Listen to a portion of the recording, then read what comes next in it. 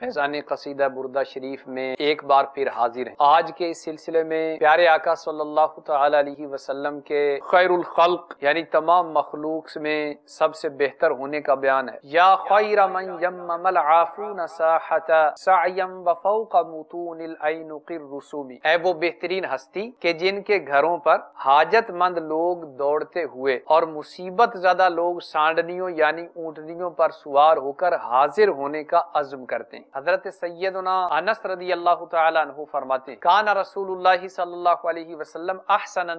व व जमाने ने जमाने में सखी ऐसा कहीं देखा, जबां पर जिसके साइल ने नहीं आते नहीं देखा। प्यारे आका सल्लल्लाहु अलैहि वालिहि वसल्लम ने इरशाद फरमाया कि बेशक मैं तकसीम करने वाला हूँ अल्लाह तबारक व तआला अता फरमाता है। देखिए सिलसिला फैदान कसीदा बुरदा शरीफ बरोज जुमेरात मदीने मुनव्वरा में रात तीन बजे और पाकिस्तान में सुबह पाँच बजे मदनी चैनल पर।